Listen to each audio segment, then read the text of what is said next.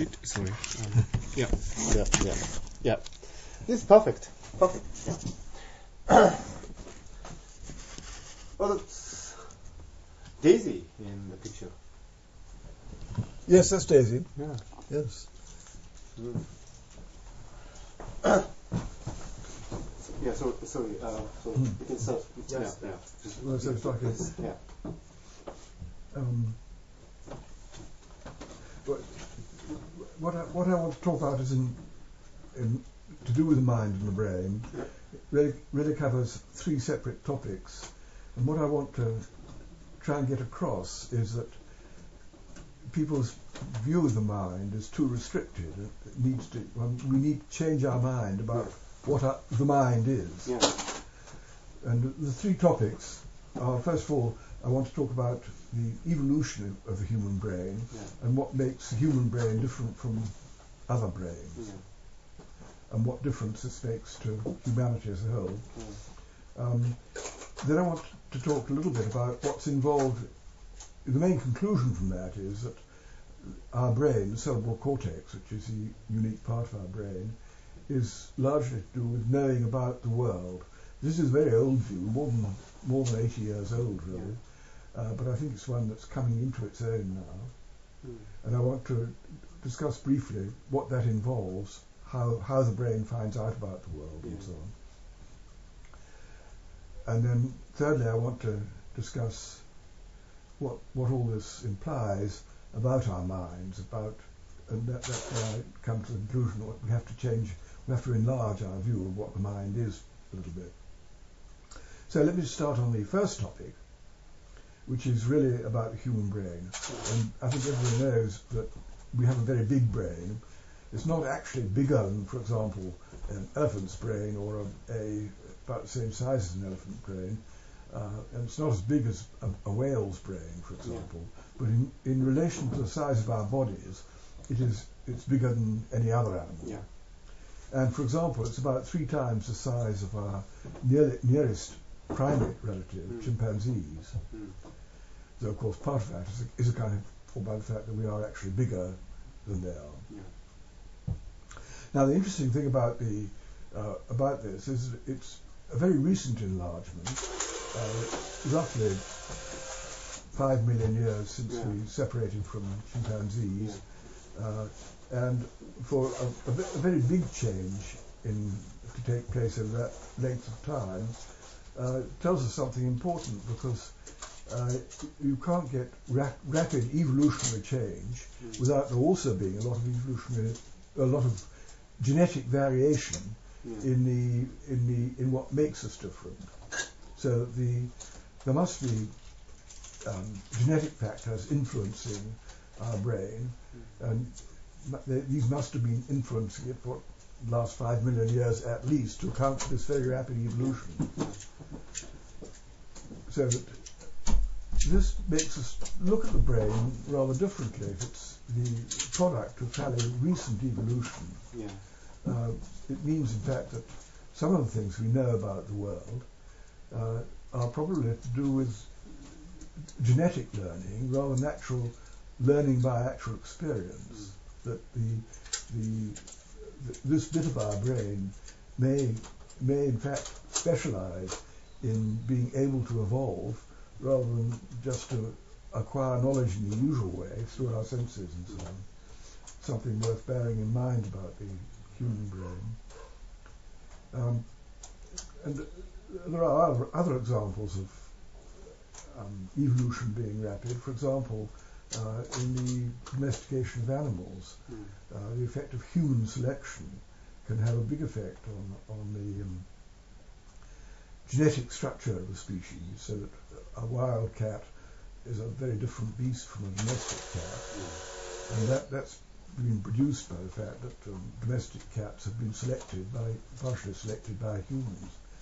So I think that one of the ideas that's rather intriguing is that we should regard the human brain as determined to a large extent by self-domestication, that we, that our social lives have a big effect in determining how the brain has evolved.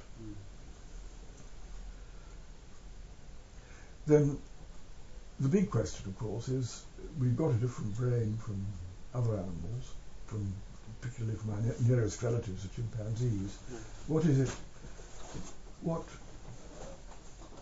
what have we been selected for? What does this? What does our bigger brain enable us to do that we couldn't do otherwise?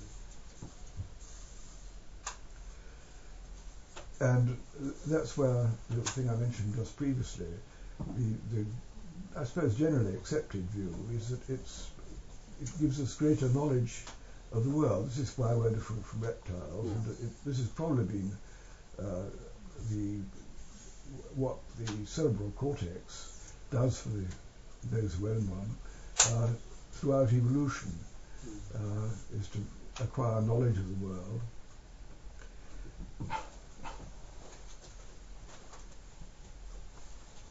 Uh, when one talks about knowledge, one usually thinks of sort of physical knowledge, you know, for example, uh, the existence of gravity, that if you let something go, it'll drop. This is something we all know about the world, and of course, our, uh, a large part of our physical form depends upon uh, being adapted to the constant effect of evolution. Um, but there is another very important aspect of knowledge of the world, which until recently has tended to be overlooked, namely that a large part of this knowledge con- concerns social knowledge, uh, knowledge of other people. So that I think where we have to look for the advantages of a, a an evolved brain is largely in our ability to uh, observe and react to the social world we're, we're living in. Mm. And I want, I'm going to come back to that. So this is a point about the about the brain that we ought to remember, so to speak. Yeah. Now that's a, that's a, more or less what I had to say about the the first point. Are, are there any things I should explain more? Um, so you talked about the enlargement of the human brain, Yes. and um, you then stressed the importance of social factors. Yeah. Uh, yes. uh, how do you think these two are related, and what do you think of the relation between uh, the social factors and uh, some process which are analogous to human selection, like the domestic animals?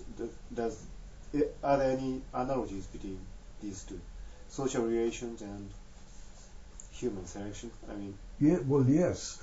Um, I mean, we, when we domesticate dogs and, and, and cats, uh, we, we threw out the ones that didn't conform to our, the ones that didn't behave socially as, as we wanted. If they were too aggressive, or if they um, uh, had habits which we didn't like, so to speak, we could n- not breed from them and select only from the ones which which we liked. yeah, And that's what we do to each other, of course. that's You right. know, so that there's a uh, humans are themselves uh, domesticated by other humans. Yeah, Of course, this happens in other species too, to some extent, I've Yeah, no doubt. yeah. But I think it must have happened much more in humans than in other species. Mhm. And this, as we know from the really remarkably rapid change that domestication can bring about, um, that this is that, that a selective force of this kind can be extremely effective in changing what are, after all, mental a- attributes of aggressiveness and things like that.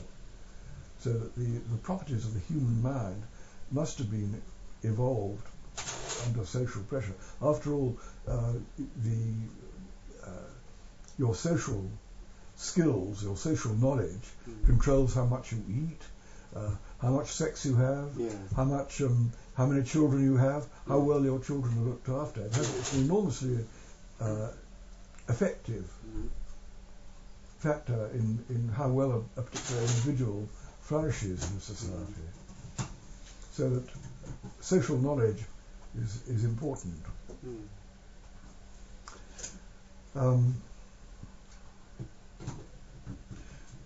I think so. I think that, and also the idea that uh, there must be a lot of genetic variation Yeah. in the in the human brain to allow selection to work. Mm. Selection, um, um, evolution, evolutionary change occurs only when there is genetic variation. Mm. So that it's it's a necessary feature for there to be evolved for the brain to have evolved in the way it has, for there to have been genetic control of its variation, which uh, we don't we're not accustomed to thinking of something like the brain as being specialized to learn in an evolutionary sense, Mhm. uh, and not just in a by by ordinary experience. Yeah. Everybody's always thought that it was the seat of learning, where the most learning occurred, and that's that, that is probably right. But there was also it may also be specialised for genetic learning, and we don't know very much about the what parts, what aspects of the human brain are under gene- genetic control.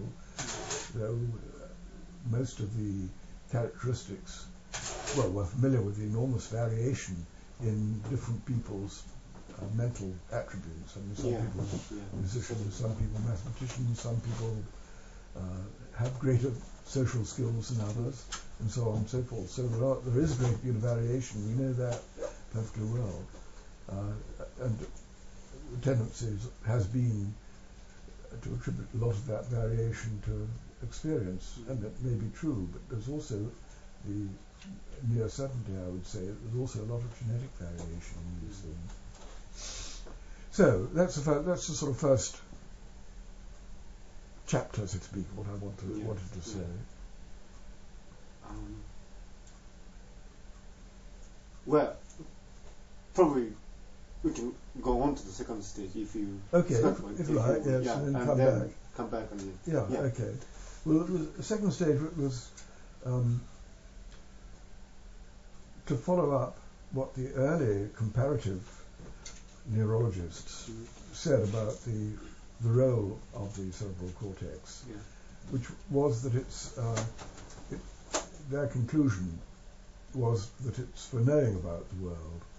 It was described by Herrick, who's one of the very early comparative anatomists of the brain, uh, that it was it formed the filing cabinets of the central executive, meaning this is where all the knowledge uh, base was stored. Yeah.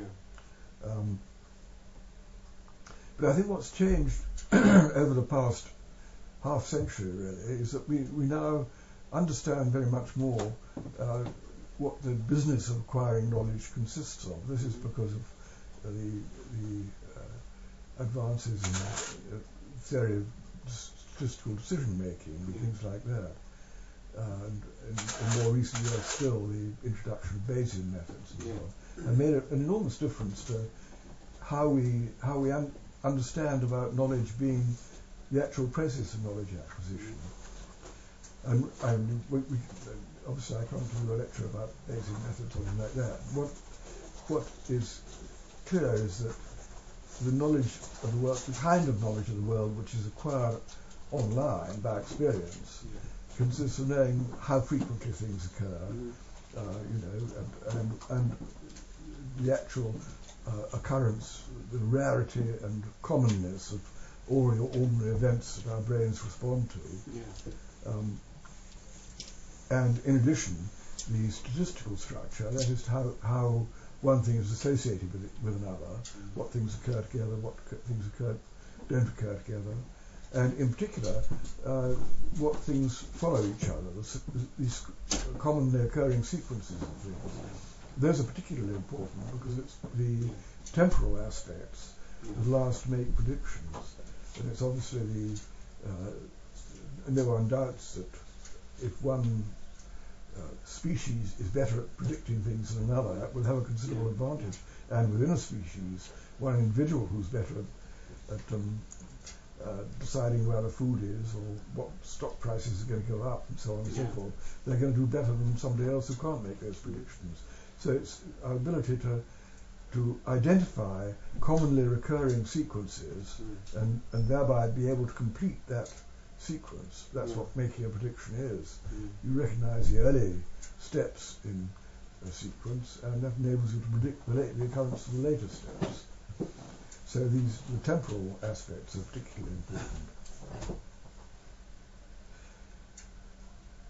I think the, you can summarize the change that's happened over the last half century as in our in our knowledge and understanding of these things is that we do we, we are beginning to understand how uh, knowledge acquisition and, um, and valid inferences, statistical inferences, including predictions, can be made so that we can now program our computers to do it, Mm. whereas previously, if we wanted to have the most reliable judgments and so on and so forth, we just had to find the, the wisest man we knew, you know. Alban, Alban Yeah. uh, to make the predi- predictions, and they will be able to tell us better than anybody else how to do it. Now, now, uh, not only can we program our computers to do it, we understand what a, what a vast problem this is. Actually, I mean, it's easy to say.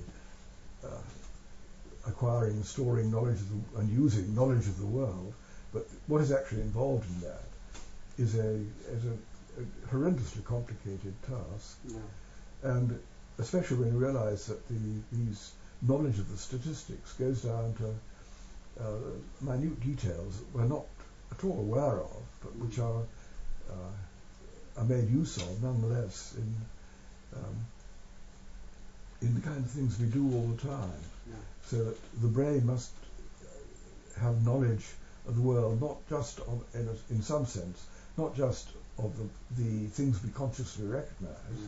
but also of things well below the level of conscious recognition. Uh, for one example of this is the, the thing which I'm interested in now, which is the um, the ability to analyse movement in images. Yeah. That uh, the, the hypothesis we're testing is that the the way that movement distorts the image Mm. is actually made use of by the brain Yeah. uh, to determine the direction, the axis of motion. Yeah. And this depends entirely on the fact that uh, almost all naturally occur- occurring images Mm. have one very pronounced statistical feature, Mm. Uh, which is that they, the low spatial frequencies are much have much bigger amplitudes than the the um, high spatial frequencies. So Right. that um, you picture a sort of peak going up to a, a peak at the low frequencies, and that applies in all directions more or less equally. Mm. There are some slight differences uh, associated with, for example, trees growing vertical and things like that. So Mhm. there are some natural anisotropies, Yeah. but uh, it's the fact we think that the the fact that there is this very general feature in natural images Mm. makes it possible for the brain to interpret any marked anisotropy as due to movement, Mm. because that will, will reduce the high spatial frequencies Yeah. along the axis of the movement very strongly, Mm. so that your what is initially a fairly symmetrical mountain, like a volcano, so to speak, uh, becomes squeezed in one direction. And we think the brain makes use of that squeezing Mm. to determine the actual axis of motion. Mm. But that's a, just one example. We, there are many other examples where what a, a habitual, a normal property of the input from the world is made use of to, to pick out what is unusual and abnormal. And as I say, this has been has been an enormous change in how well we understand these processes Mm. over the past 50 years. So that's, Mm. I think, given us a, a new insight into what the brain must do. Mm. And that's, uh, I, I, think, about all I can go into without being much more technical Yeah. uh. Um, yeah, I I would be personally interested in going into much technical terms, but uh, this is a magazine for general leadership, or maybe, uh, yeah, I should take the position of a general leader. Uh, uh, for example, uh, so you mentioned something interesting about the unconscious processing playing a large part in statistical statistical learning. Do you have any insight on the division of labor, so to speak, uh, between conscious and unconscious processing in this statistical learning. Uh, do you have any? Well, I do. Yeah, yeah. Uh, which is that the, the the things we're consciously aware of Yeah. are the things which it's which we first of all, if we're consciously aware of it, we're in a position to explain it to other people. Uh, If we're not consciously aware of it, we're not. no, right. Uh, so that uh, those aspects of the statistics of the world, which are really for self consumption, which involve what goes on in my own brain, Yeah. uh, but are not of interest to outsiders, then you don't expect to be conscious of that. But, but nevertheless, they can have a big effect on on how the system works. Yeah. Um, the an example of this is perhaps the uh, motion after effect. Mm. Everybody, everybody's familiar with this. That uh, uh, if you, often called the waterfall effect. Yeah. If you look at a waterfall and then look at stationary foliage next door, it appears to move upwards. Yeah. Well, in that case, one is conscious of the downward movement that gave rise to this, Yeah. but it's not because of that conscious awareness that we, when we look sideways at a, a stationary object, it appears to move upwards. Mm, That's, That's that's is not the consequence of our conscious experience, Right. but in, in, or is can result, result of mechanisms which are occurring well below the level of consciousness. Uh, and so, um, with other almost many many other process, well, there are many other adaptation processes of a type which are very similar to the motion after effect Yeah. uh, and we, we adapt to them. But it's not because we have been consciously aware of them that we adapt. It's something occurring at a pre-conscious level. Mm. Do you have any comments on the origin of language from your, particular point? Um, no, uh, it's uh, amazing. I mean, first of all, it's, it's, it's absolutely obvious that the language is of social significance. Yeah. so that one expects to see language in primitive forms in other social animals. And of course, there's, there's language of bees, and there must be, for example, hunting dogs Yeah. communicate with each other. But I don't know if it's, I don't know if it's known how they communicate Mm. with each other. Mm. But in, if you if you think of a, a a group of dogs hunting, a, they must have quite complicated messages to deliver to each other Mm. you know, saying you hold back there left and you go on round there Yeah. behind, uh, or suggesting that. Uh, Mm. but I don't, I don't know how they do it. Uh, but, presumably with humans too, uh, a lot of that communication is not directly. Do you think language originated in the process of statistical, statistical learning and acquiring knowledge, in your sense, uh, about the world? Um, No, but you, I, uh, what you communicate by language, yeah. uh, if it's not reliable, it's no use. Right. So you, it must have been uh, the the what we're consciously aware of Mhm. must have been through these statistical sieves, so to speak. Right. We're only aware of things, tend to be only aware of things which are significant. It's Yeah. quite difficult to uh, to pick up the the very weak, barely significant statistical messages. Yeah. Um, so the the process of sieving what comes into our enters our mind to do that is quite, quite complicated. Yeah. Well, shall I go on and, and Yes. talk about the Right. Yeah. um,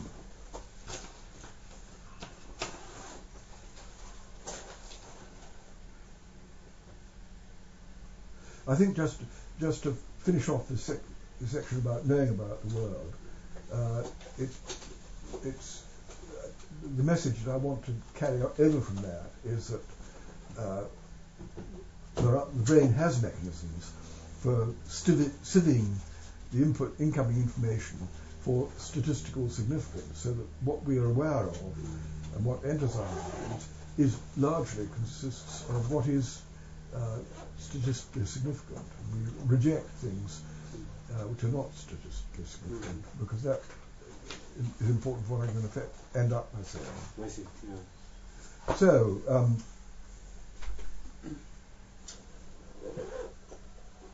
what I want in this part is to, to describe, um, to say something about what I've just been talking about, what that implies about our minds, and what, what we have to change in the way we look at our minds. And of course, every, everybody has their own view about the mind, and um, I, I can't possibly give a historical survey or anything like that Mm. about what this, but I think a generally accepted modern view is that um, each each person has a window on the world, so to speak, and uh, what is in their minds is the result of what enters it through that window. And this fits our own views. That I, I have a, a what's in my mind at the moment is what I can see in this room in front of me, and uh, you sitting and discussing these problems with me and so on.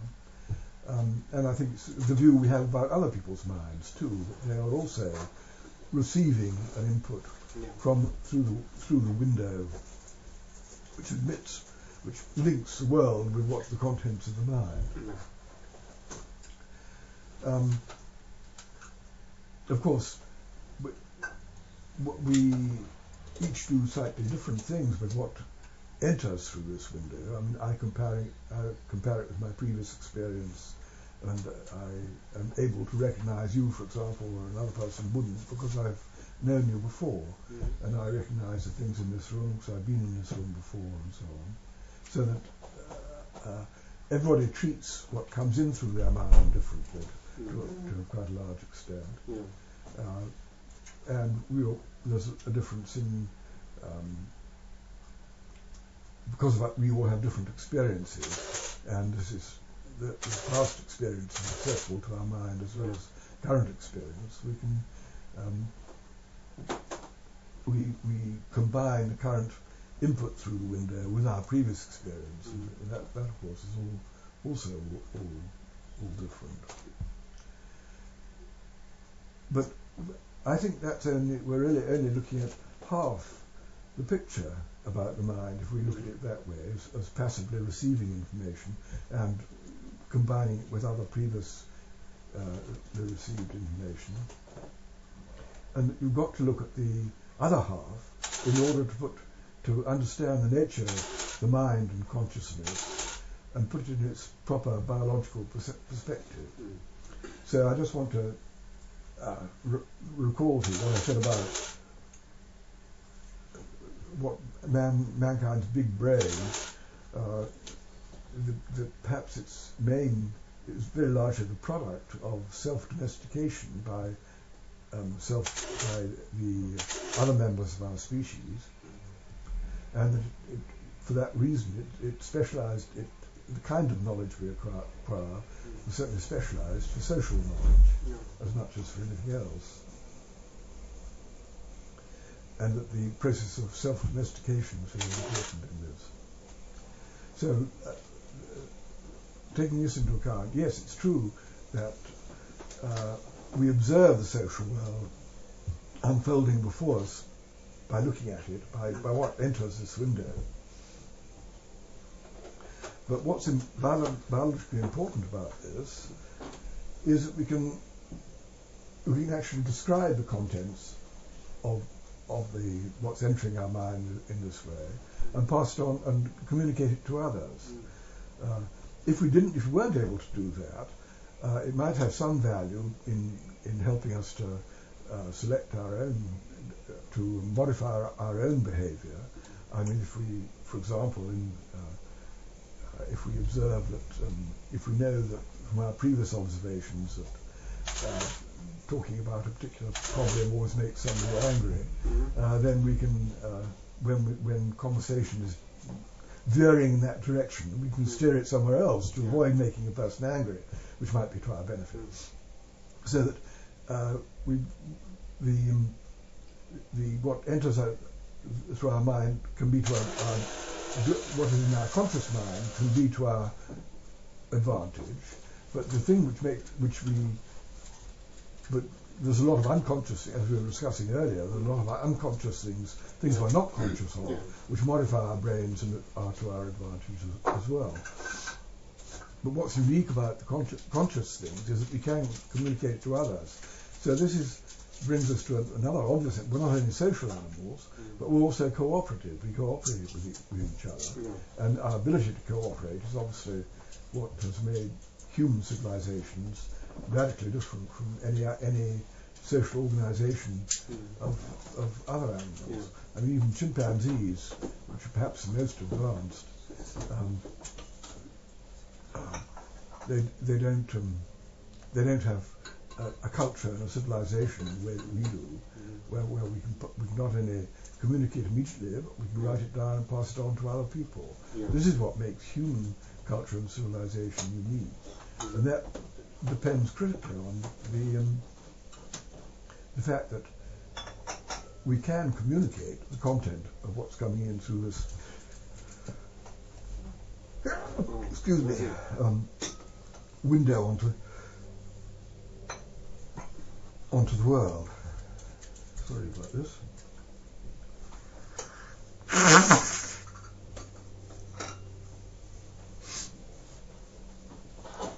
So it's the, the communicability of, Yeah. of, of our um, conscious experience seems to me to make it make it crucially important. I don't I will, thanks so much. Mm. Oh, put it down, yes, okay. Yeah. Ah, So what what this means is that it's the people puzzle about consciousness and say that um, it's difficult to see what its biological advantage is. But I think that it's not only a biological advantage obvious, but it's also widely recognised that it's way, the way we link to other humans, and so that it's the the, the necessary feature for humans to live in the kind of uh, culture and civili- social culture and civilization that we do live in without being able to, to constantly communicate with each other. Yeah. We couldn't conceivably have the kind of uh, culture and civilization which is humanity's unique feature. Yeah. So, the, how, why, why then do we have to change our minds about our minds? Mhm. And the answer is that um, we, we tend to think of the content of our mind being our, our own. So it's our u- unique to ourselves. Yeah. But that's not true. It's it's what's what's important about it is that we can that we can communicate it to others, so that the contents of our minds is there not only for the use of our own minds, but for the use of other minds. It's Right. not it's not just for our own use. Mm. And I think I, I think that is um, that aspect of, of, of the mind and consciousness does tend to be overlooked by people. They do tend to think of it, at, at least at this time, as being something unique to each individual, Mm. and um, and that must be why it's important. But that is not necessarily why it's important. It's because it can be shared with other people that makes it important. Mm. Imagine you, you can you can get a picture of, of how important it is if you imagine um, when our, most people are familiar with robots in, in, and of things they can do in some shape or form. Yeah. But of course they don't cooperate with each other. No. But supposing you want to make robots cooperate with each other, then they've got to be able to communicate what they're actually doing at one moment to another robot. Right. And that, that would demand something very similar to consciousness. Mm. So we don't we don't attribute. And by the way, animals only rarely do we do we understand how they communicate with other animals. And uh, the closer they come to communicating with other animals, particularly with us, the- more we are inclined to attribute consciousness to them. So uh, you don't- want to deny your dog consciousness because it Mm. undoubtedly does communicate with you, and you communicate with it, and it responds and so on.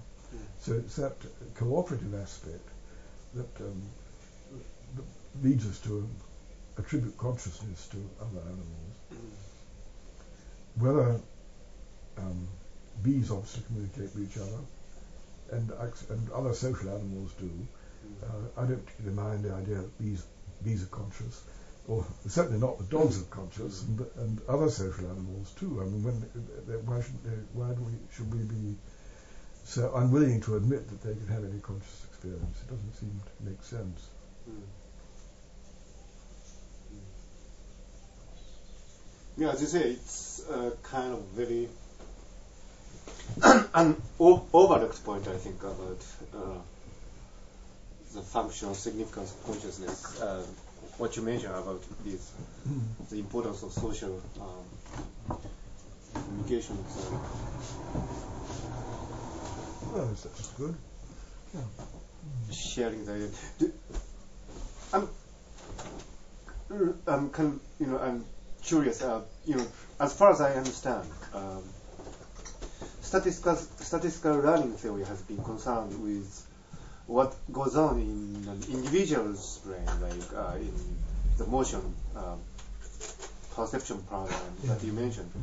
When you put um, the social communication aspects aspect into picture, how do you think that changes the framework of um, the whole story and statistical learning paradigm? Um, do you have any? Well, I, I think social judgments Yeah. are often based on much more uncertain evidence than I can see that, than yeah. other other judgments. So the statistical aspects are even more important there. If you don't know how to use small samples, you're not going to be very good socially. Yeah. so that, uh, and of course, statistics comes in. People say, "Oh, this is not a statistical problem because you have one-shot learning." But of course, that's completely wrong. It's the ability to um, to make a, a decision from a single experience Mhm. means that you're, you're making good use of your previous experience. You know that this is that a single example Mhm. is way out of line from the whole of the, the rest of the, that population you're comparing Right, it right. with. So that uh, the fact that it's based on small small samples does not mean that statistics is less important. It means it's more important. Mm. Yeah, I see what, what you mean. Um, yeah. Um, so, And uh, the other thing, of course, about social uh, behaviour compared with other behaviour, people don't. When you're riding a bicycle, you don't often make a mistake. And No. You do occasionally, but only very rarely. Whereas uh, if you have a, a keen social eye, you mm. see people making mistakes all the time. I can see that. Yeah. It's a it's a much more dicey business. yeah.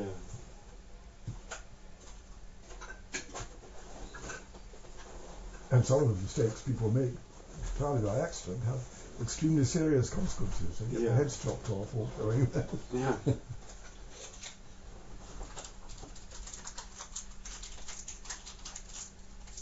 So, in your view, uh, these social judgments or learning, um, what is the division of labor again between conscious and unconscious? Well, I, I would say that uh, that one is little conscious of the, the, the vast amount of information that comes into one's eye, into one's eyes and ears and nose and so on, um, which is primarily of, for internal consumption mm, only mm, and does not uh, involve other people. mm, But uh, bits of information which have significance for other people are the ones which you become conscious of. mm. I see. So, being conscious of some aspect of your cognition means uh, has a double meaning. You mean? I mean, it makes you aware of your own internal state, so to speak, and at the same time being able to communicate it to. Yes, but but, Others. but then you are able to communicate it to others, and it's that aspect which is biologically important. Mm, Well, not only because it uh, it can also be important um, for. Uh, perhaps one should talk about what's what's involved in making it communicable to others. mm, It's not only that you've got to, uh, it's got to be, there's got to be a very direct link with the speech centres, and yeah, it's got to be, yeah, uh, uh, you've got to be able to make the links to the correct words in your vocabulary and so Yeah. on. But it's the the existence of that, uh, the framework implied by that vocabulary and your knowledge, your existing knowledge of language, which makes it possible to communicate to other people at all. If, you and I don't have a language in common, mm, uh, we find it very difficult to communicate the contents of our mind to each other. yeah, No, no, you, to some extent one can do so. I mean, uh, you can, with sign language, you can direct a person to go that way, then that way, and that way, and, Yeah. and so on, uh, if you understand where they want to get to. yeah, Uh, so you, you- there are non-linguistic means of communication, or if you just look aggressive, you know, that, yeah, yeah. that's a communication too. so that and, uh, people are, are very very good at picking up these cues. They can uh, they can pick up the non-verbal cues very effectively, very rapidly and easily. Yeah.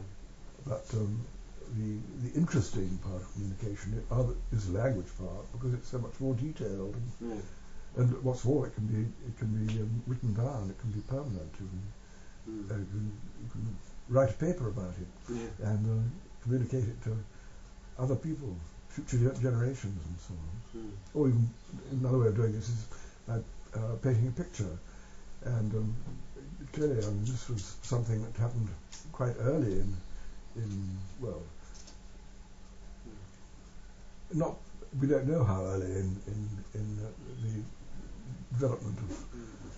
Modern human communities, but I, any any civilization worth its name has artifacts which were clearly permanent records of something that they wanted other people to know about, Mm. and they couldn't have done that without, I would say, being consciously aware of it. And these artifacts would presumably represent uh, statistically salient features of the environment or Well, yes, I mean, I think the uh, of prehistoric cave drawings, they, they, the animals have quite recognisable and accurate uh, features as far as we know about those animals by other means. Uh, so that uh, it's, it's reliable knowledge they're communicating. There may also be um, you know, a lot of symbolization may symbolize unreliable knowledge, and after Yeah. all, we wouldn't have to consider all the religious pictures are, Yeah. and not, not all that knowledge is reliable. Um, some people have argued actually um, that um, one-shot learning is, as you say, one-shot learning is probably a very good instance of statistical learning.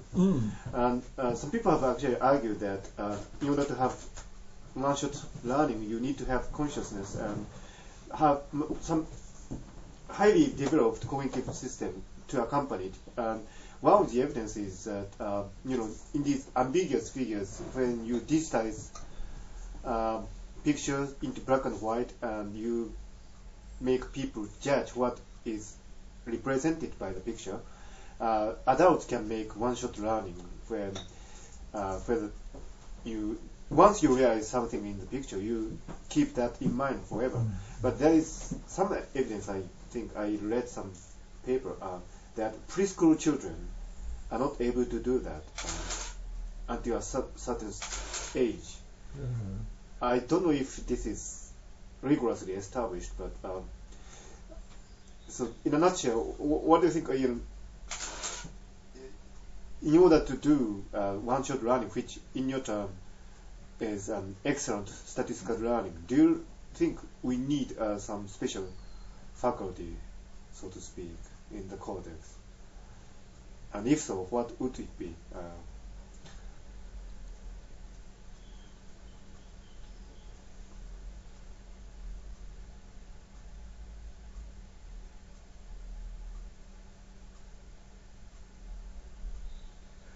Um, yeah, I don't know. Uh,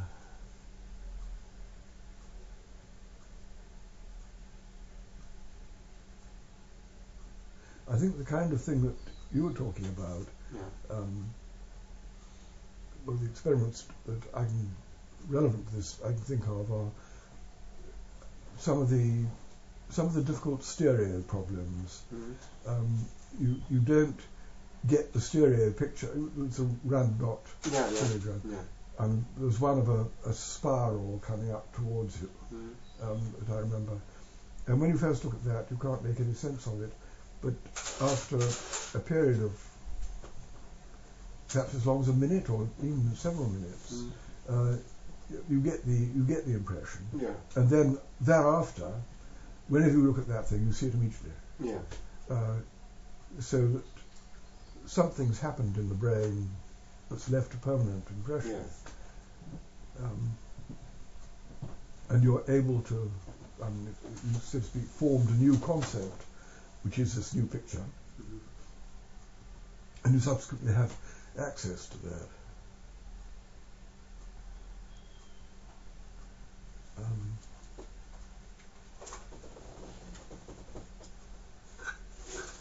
I don't know whether that all occurs in V1 or whether it's uh, uh, requires other areas. Very likely it does. It's difficult to say. Uh, but, but, another example of one-shot learning is that, um, I, well, of this is perceptual learning. Another is, you know, do you know the picture of the Dalmatian yeah, dog? I know, yeah, uh, yeah. Which again, you know, once you've seen that, Mm. whenever you see it again, you recognise it at once. Right. Yeah. Not always. I mean, I'm, I'm sure you make use of the fact that there's trees in the background and things like that. Yeah. You said, oh, that's why this is that, the background for that dog. You recognise that for therefore the dog must be there. You, see. Mm. Um, so again, you've formed a new concept, Yeah. and once you've formed it, then you, you can recognise it immediately. Mm. And I would imagine it doesn't have to be the identical picture Mm. of the Dal- Dalmatian. You But if you had um, uh, if you had if you took um, several pictures from slightly different viewpoints and so on, they'd all be different. But yet, once you'd seen one of them, you'd be able to recognise other ones. means type. there would be some generalization. General- yes, Uh, general, generalisation around the the concept of a Dalmatian dog. yeah.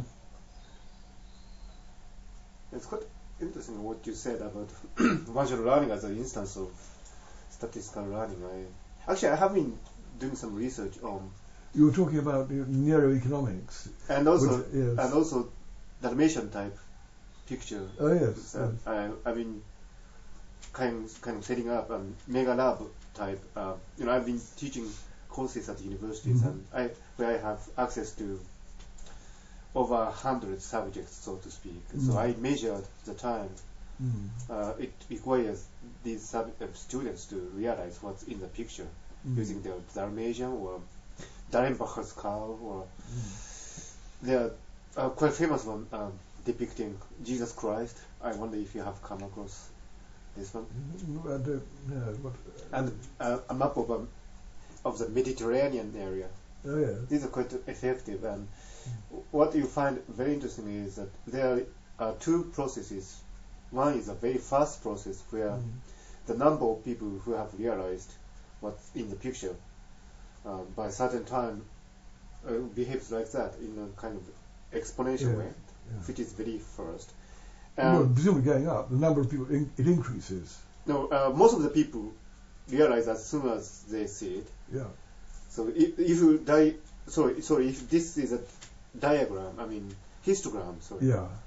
Showing the number, the, the time at which the number of people. Yeah. So it goes like that. This time. Oh yeah, then uh, so like that? So this is the first, Yes. but if they fail to realize that that uh, by a certain time, then Yeah. there is this very slow process, which seems almost like a Poisson process because Mm. it, um, the number of people who realize in this time being uh, distributed almost uniformly in right. this fashion. So it can take as long as, for example, 10 minutes, 20 minutes sometimes to realize. Yeah. So I, but uh, so but they do eventually realise it, do they? uh, some people do. there's some people fail to. Yeah, some people fail to do Yes, it. Um. Some people actually can't see uh, what's in the picture even after they were told Uh-huh. what's in the Yeah, picture. So, yeah. uh, what do you say about this relationship between you know statistical learning and one-shot learning is quite interesting. Uh, I I think I need to think on that a bit. Yeah. Uh, so, yeah. But um, the, I think a typical example of one one-shot learning is you know, something like uh, getting stung by a wasp or something like that. Sorry, what's that? getting stung by a wasp, um, um, the insect, uh, you know, if you yeah. uh, uh, once you have uh, once you have been stung by a wasp and Oh, I identified see. it, Yeah, yeah, yeah. then yeah. you know Right. Yeah. not going to have anything to do with that. right. feature yes. again, yes. Yes. Uh, and Well, that's but there again, I mean, it, it's because you've made use of the fact that normally when an insect just lights on your skin, Mm.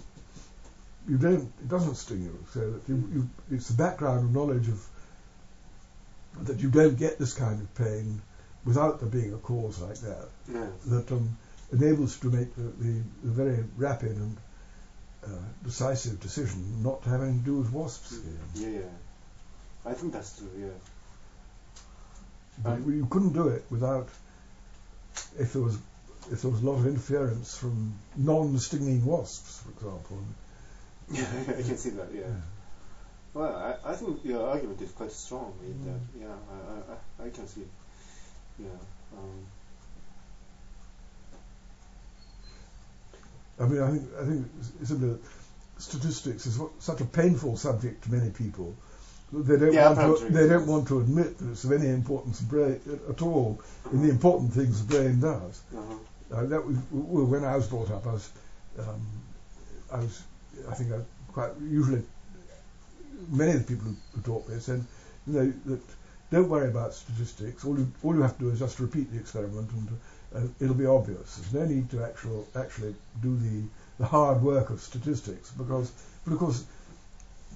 That what that means is that we're naturally quite good at statistics, and, w- and our Yeah, yeah. judgments are not very much worse than those the judgments you can reach by actually keeping notes and doing the calculations. Mhm. It doesn't mean that that, that process is unimportant. Mm. So that uh, I, I think that the the changes in our understanding of statistical problems over the last half century or so, I mean, not not making, not saying that there wasn't progress before then, but Mm. but over the last half century or so, we understand much better how statistics is the basis for all judgment and Mm. All acquisition of knowledge and so on. It must be. There's no other way of doing it. Mm.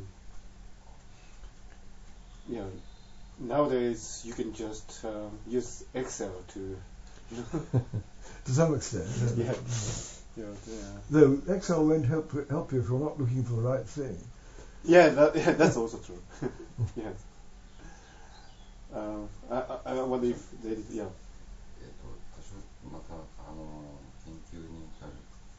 Yeah.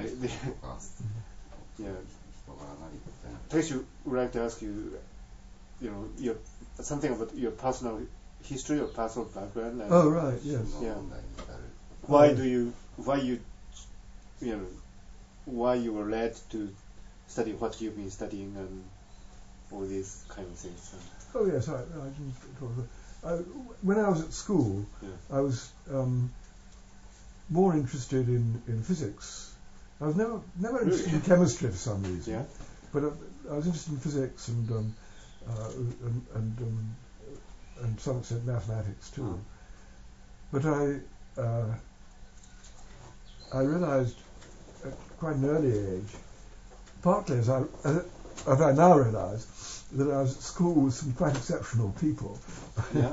that I, that I wasn't in the top class when it came to to mathematics and physics.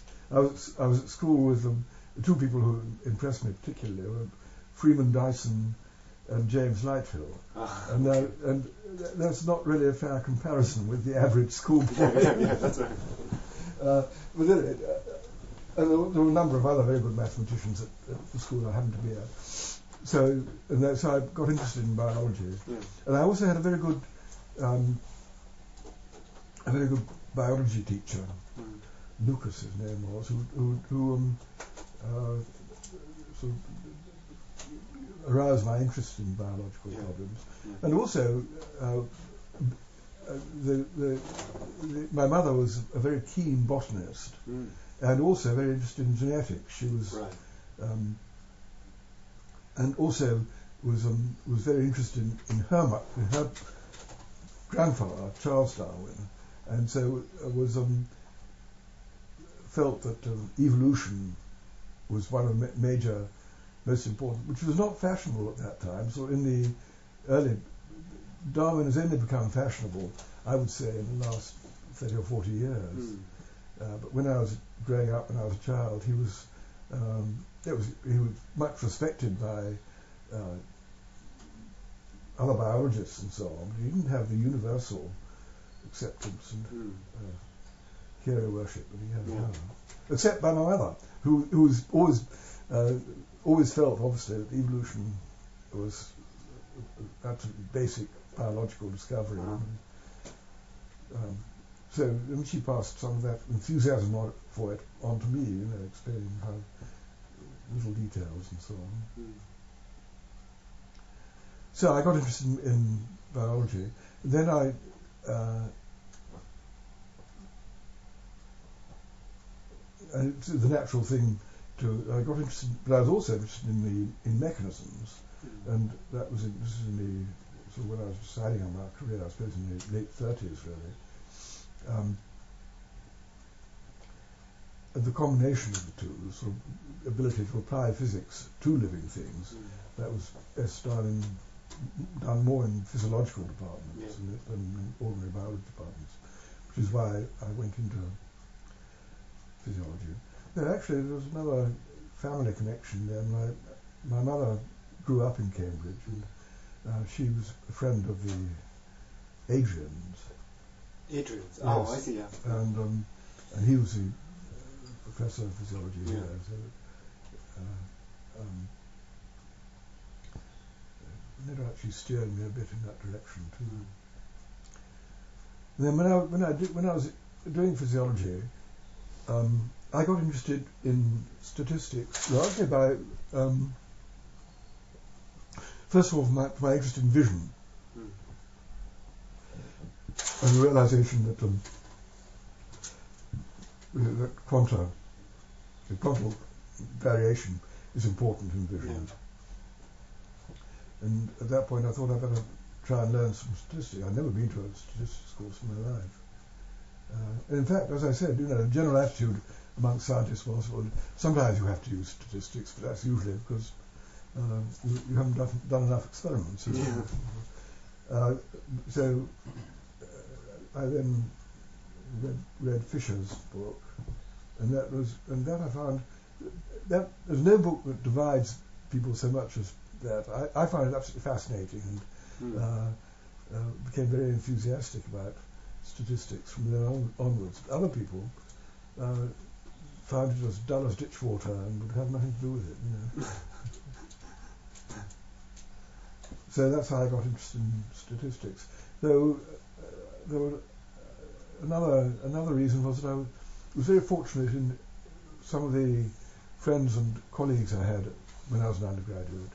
I belonged to something called the Natural Sciences Club, which was a Mm. small group of about 20 people, and we used to give talks to each other about various topics.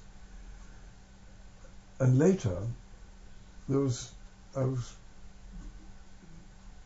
um, came across Tommy Gold, who's a physicist, who, he was, who died just uh, a year and a bit ago, Mm.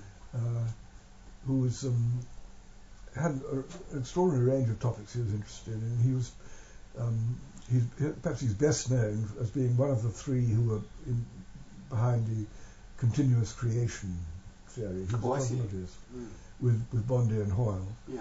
Um, but he was also interested in biology. He, he did some experiments on hearing. Mm. Um, but he was also he, he and he was he was a wonderful person for explaining things, you know, and uh, sort of concepts of signal and noise. Mm. Uh, he talking to him, you, you got much you understood these things much clear, more clearly than even from reading Fisher.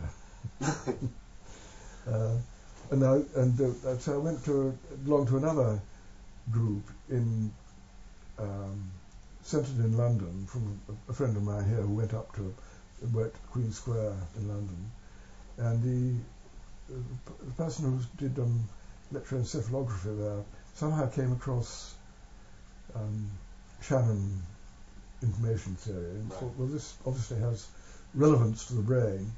So he started a small discussion group, Mm. and I met many other people there, including Alan Turing through that group actually. Mm. And um, Warren McCulloch came and talked to us. Mm. Uh, Dennis Gabor didn't, but Donald Mackay, Mm. who was a graduate student of Yeah. Dennis Gabor, he he uh, he was a member of it, and so we talked about things like chess playing, computers, and how computers worked in the first place, because of course they were, they were very young then. Um, so that's how my ideas about these things developed. Yeah. And then uh, another impetus to, to it was when uh, when uh, um, I started recording from nerve fibers. And I went, I went over to Steve Kuffler's lab for a year, Oh, and he was recording from uh, retinal ganglion cells in Mm. cats. And uh, I don't know if you've ever heard the output of a retinal ganglion cell, but it's a most incredibly irregular, noisy discharge you can imagine. I mean, it Mm. sounds like pure noise, Mm. and yet it enables the animal to see. You know, so Mm. that, that clearly has got to be analysed. It has to be analysed by the brain. So I got very interested in the in neural noise from that experience. And uh, you know, also it was, it's surprising now because everybody, everybody, for example, doing psy- psychophysics is um, uh, realizes the importance of false positive responses. If, Uh-huh. if you're if you're sitting down being asked to make responses to dim flashes of light, every now and then you make a mistake and you you actually claim to see a flash when there was no light, no flash there at all. Mm. Well, many people up until about 19, the late 1930s uh, thought that that was a human error and that um, it was just because your subject was not being careful enough. And so, for example, by accident, Maurice Pirenne was one of uh, Selig Hecht's collaborators on uh, in a famous experiment on detecting quantum fluctuations. Uh, and he told me that uh, false positive responses were simply not allowed in that laboratory. And if any subject gave a single false positive response, they were regarded as utterly unreliable and never used again. So the idea that, that there was a uh, of noise being prevalent. Hmm. uh, even in a uh, in, in, a simpler situation, was really very alien to a lot of people at that time. Nowadays, of course, everybody's heard of signal detection theory, and it's why everybody recognises that, mm. that um, the brain is a noisy animal. So hmm, yeah.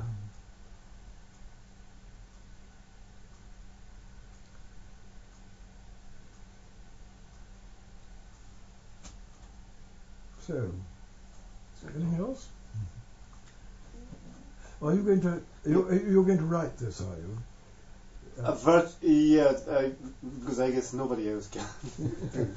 Yeah. I, well, of course they will do the editing and Yeah, so, yeah, but uh, I'm chiefly responsible for scientific content. yeah. And will you write it in English?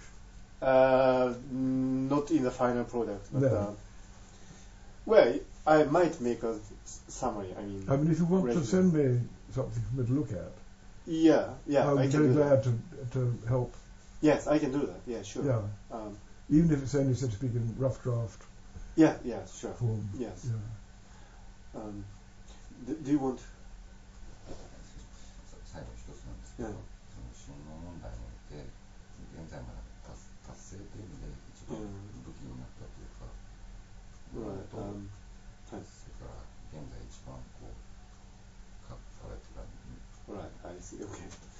So in your in your in your view, uh, what has been the most significant um, achievement in understanding human mind, and also what is the greatest obstacle in understanding it?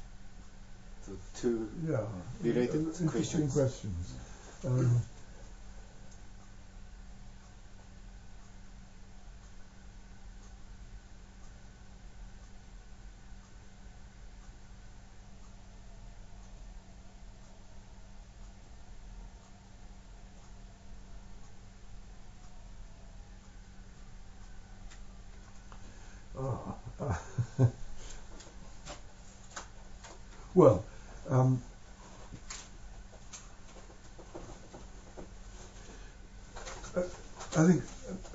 one extreme, um, the ability to record from single neurons Mm. and to understand how single neurons work uh, is one of the greatest achievements. Mm. And I think one of the obstacles to further progress is not knowing enough about what a single neuron can do. Mm. Um, we, we, we've um, we have a picture which, after all, taken half a century or so more really to build up of of um, what a neuron can do, and it fires impulses and so on and so forth. But it's the cells in the brain, in the mammalian brain, the pyramidal cells are very large, Yeah. and uh, there's an awful lot of intracellular machinery there Mm. which we don't know very much about, uh, w- w- and which whose functional role, well, I think, in time to underestimate, because we say, well, it's got all the nucleus and all the mechanism for turning on genes, turning off genes, and so on. But these are all employed in the process of building a brain development, and they're not involved in everyday use. But that may be quite wrong. There may be a, a lot of intracellular mechanisms going on which are important, particularly for uh, things occurring over the time scale of seconds to minutes, Mm. um, which we, we're completely ignorant of. Mm. We, we tend to think of the of the nerve cells as acting on a sort of millisecond time scale, Yeah. Yeah. but there are slower processes. Mm. It's interesting that Donald Hebb, uh, who who was a sort of pioneer of, of understanding the brain in terms of how the neurons, what neurons do, uh, he was, if you read his book, uh, he was led to the idea of neural assemblies and uh, uh, simply because he thought that there were no there were no processes occurring at a longer time scale in, in the um, in these nerve cells. And a, a totally different line about this is that the uh, the knowledge built up about what of how how single bacteria control their lives. I mean, they have they have elaborate mechanisms for determining how they move, Yeah. um, when they reproduce, and so on and so forth. And this, uh, you, you can get, I, when I last did the calculation, I came up with the answer of quarter of a million E. coli inside a single uh, pyramidal cell. And each of these E. coli has quite elaborate decision-making mechanisms inside itself. So that, or not put it another way, Yeah. uh, not quite so dramatic, but uh, a single pyramidal cell has something like 10,000 uh, terminals, yeah. nerve terminals on it, each on a bouton, Yeah. um, which is a postsynaptic structure. Now, each of those boutons is of the order of size of a single bacterium. So Mm. each of those can have mechanisms within it, within it of the order of complexity of, of those that determine the E. coli's life. Yeah.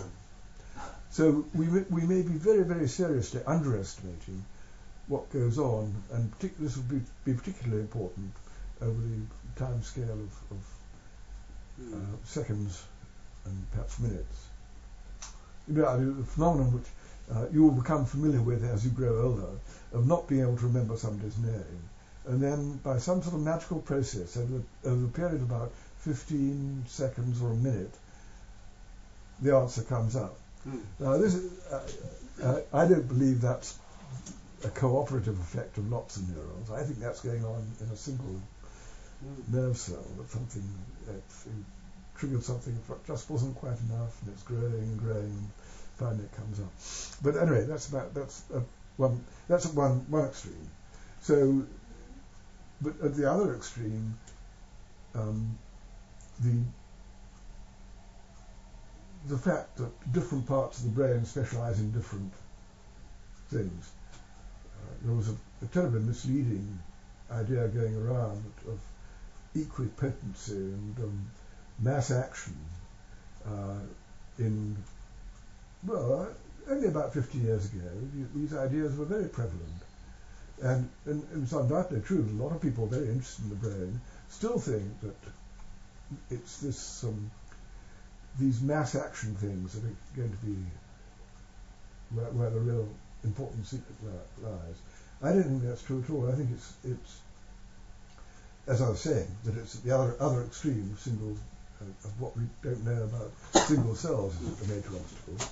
and these cooperative things, they are interesting and important. And of course, a big progress in further localization is going on with the fMRI uh, and things. That's a, uh, that's opening up fields, Mm. but it is only telling us where things go on. It doesn't tell us what goes on. Mm.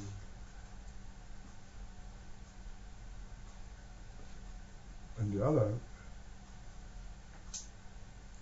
well, I think one of the future areas which is has great possibilities is understanding the genetics better, Mm. because after all, this is um, understanding can lead to an enormous increase of understanding not only of how the brain develops, but also of the actual uh, variation between brains and Yeah. uh, and these, as I was saying before, this must be a crucially important aspect of of what is how the brain has evolved. So does that answer your question? That uh, reminds me of I really need to answer uh, ask this question, uh, which is uh, what is your current stance on the grandmother cell? On, story? on what? Grand grandmother cell. Oh, grandmother cell. Yeah. Well, first of all, uh, uh, I think there's a very good aspect of it that um, the idea, by the way, is not mine. It, comes from uh, I read about this in Yeah. I it- actually. it- Yeah. yeah, I, it, I, it was, it, yeah. it was Jerry Lettvin who's yeah. uh, was perhaps more behind it than anybody else. Um, and it draws attention to the fact that a single cell can do something which is intelligible on a macro scale and uh, uh, and and important in the life of the animal. So those are and those are two concepts which people didn't have before because they, after all, the cortex has uh, 10 to the 7 neurons or whatever the latest number is, uh, and um, what can and one single one of them you might think played a trivial part, you know, just like one one uh, uh, one cell memory cell, for example, in a computer, or the, the operation lasting a, a microsecond or Yeah. um, a tenth of a microsecond, whatever it is. So um, uh, the, the idea that grandmother cell says no, no, single cells are important and they, they do things, many of them do things which are intelligible on the scale of the overall behavior of the animal. But the actual choice of grandmother uh, for such a cell seems to me appalling uh, because uh, i if you do have cells which do important things, you've got to select what, what they're selected for very carefully. Of course, most animals don't know their grandmothers. Why could they have a grandmother cell? You know, it, it so happens that humans are an exception. Uh, we do know our grandmothers usually, or sometimes, Yeah. but in most species, they have no, no the grandmother is a completely alien and useless concept. Mhm. So why have a cell for it? So from that point of view, it's it's a, a, a cretinous Mm. um, concept. And of course, it's also we don't we do need to remember the fact that there are a very large number of cells in the brain, and we and we still don't really understand why there have to be that number. I mean, after all, think what see what you can do with thirty thousand genes, Mm. and um, and here we have to have 10 million, 10 yeah, 10 million uh, nerve cells to um, to uh, to to get anywhere. It's, uh, it's crazy, know. 10 billion, I should say. Do you have any idea why we need so many neurons? Um, Well, I think it's, I think sparse co- coding is one of the things that that uh, it's because the, the cells are highly selective. Uh, you need a very large number of them. mm. But the numbers, are- it's difficult to think in terms of these large numbers. After all, with um, uh, we with a vocabulary of thirty thousand words is quite a lot. Mm. So that with thirty thousand entities Yeah.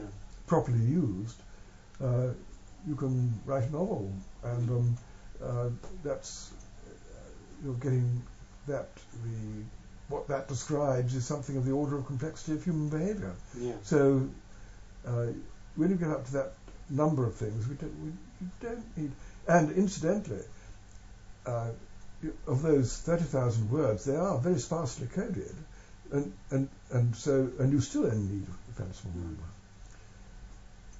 But uh, in the human brain, it's got. Uh, I'm just looking at the sensory side alone. Uh, you know, a, a vast spectrum, very high capacity channel leading into the brain, and you've got to have a lot of neurons there to handle it. And with, with sparse coding, does solve a lot of the, or I think helps to understand a lot of things to do with binding, for example. That um, if if each of these entities corresponds to something highly specific, then uh, when when and with local coding, if there are two such things occurring in a fairly localized region of the brain, they are likely to be associated Mm. in the outside world. Mm. And so that is a partial solution to the binding problem. And it's, it's every, everything, but it's a step in the right direction.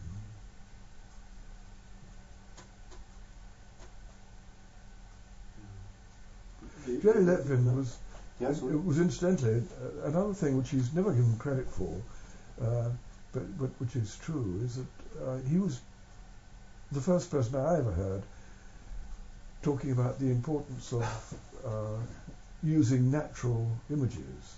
Oh, was he? Yes, Oh. um, so that he, um, when he was recording from Frog's Retina, he didn't use a, a, a microscope and spots of lights to project on the retina, that kind of thing. He had a, a used the eye's own, own optical system, and then showed it pictures of uh, a pond with lilies in it, you know, and Right. insects, Yeah, things like that. So he was, he was very keen on using the uh, Oh. using natural stimuli. What do you think the name grandmother there caught on kind of people's, you know, if yeah, as you say, it, it has little biological significance, but somehow it has captured people's imagination. Yes. Do you have any comment or insight on?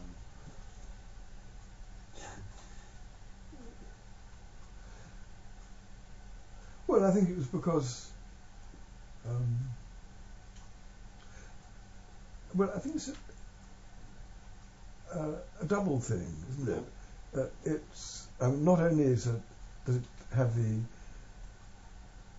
convey the idea that it's something you don't see a gra- you don't see your grandmother every day, so it's a rare event, uh, and you have these cells reserved for these rare events. Mm. Uh, but it's also something to do with the, the concept of hierarchy, you know, Mhm. uh, and it's, um, the, a, a grandmother is part of a hierarchy, so Yeah. it conveys in one shot, so to speak, the idea of rarity and and hierarchy, I which is which I think is, uh, from that point of view, it's okay, but the what it conceals is the fact that um, well, there's an interesting fact about coding. Mhm. Um,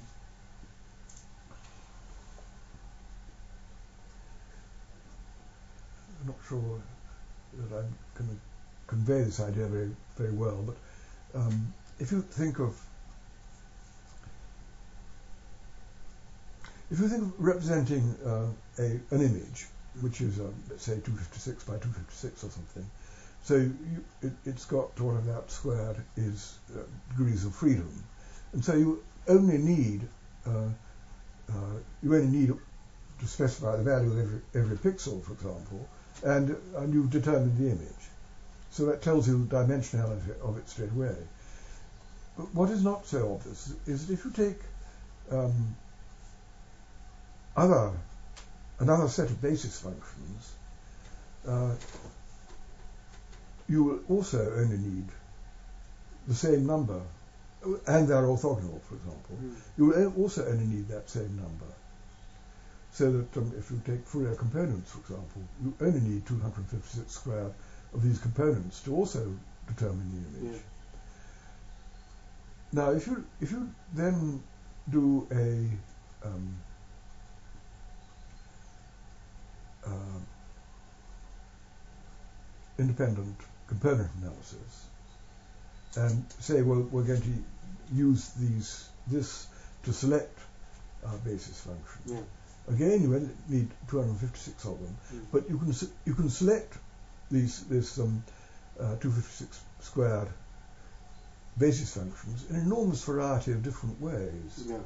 and any one of them will do it. Yeah.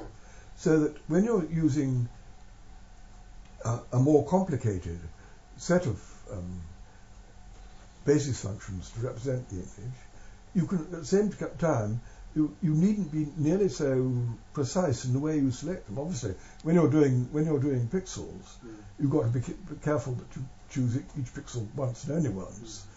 Uh, so you can't just take a random set of pixels. But when you have an enormous selection of possible basis functions, you can be very much more careless in in how you select them. Right. Um, so that that means that well maybe you can get maybe that grandmother cell uh, and a, a number of other equally crazily chosen uh, functions of the image uh, will enable you to reconstruct it completely. Mm. So then, having got that idea, we then say, well, wait a minute now, we're going to use these um, activities in these units for more than just representing the image. We've got to learn about it, for example. And it's no good um, choosing as one of your basis functions something which is only activated once in every 10 years, because that will, you're not employing it fairly. So you, what you want to do is to choose things which occur frequently.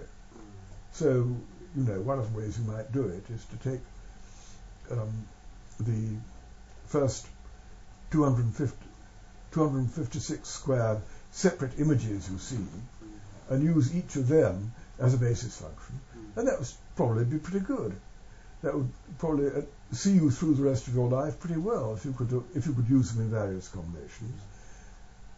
But then we, you could do even better than that, because in the first 256 images you experience, these are not going to be ones which are particularly significant events. And it would clearly, for purposes of learning and so on, be much better if you took this rather limited number of whole images, uh, if things which were important in your life. So you might take an image that occurred short, short the, image, the baby might take an image it's, it saw shortly before it was first fed, for example, Mm. because that's a predictor of feeding. Mm. That's something useful to know. Mm. So we'll take the image of the mother's face and so on. So you can build up a set of, um, this is all complete fantasy, of course, uh, build up a set of uh, things to be responsive to, which are actually going to be useful to you. So what, what was missing from the from the grandmother cell notion is the idea that you, if you are going to have things as selective as that, there better be things that occur frequently and that are significant in the life of the animal. Mm. And if you if you incorporate those two things, then grandmother cells are fine. You know.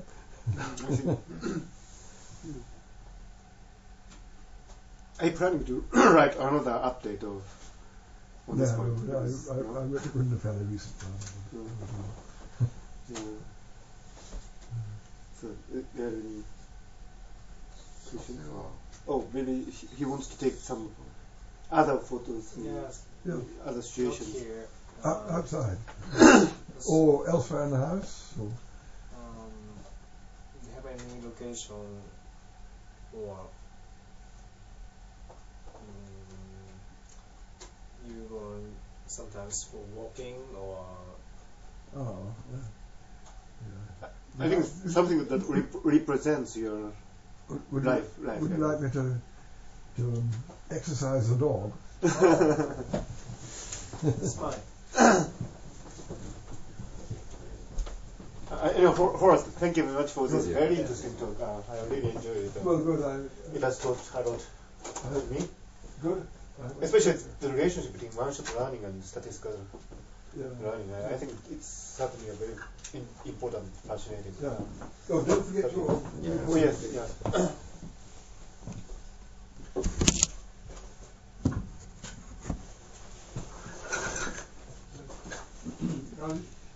Are you using old-fashioned film? Yes. yes, this is a film. Film, yes. Yeah.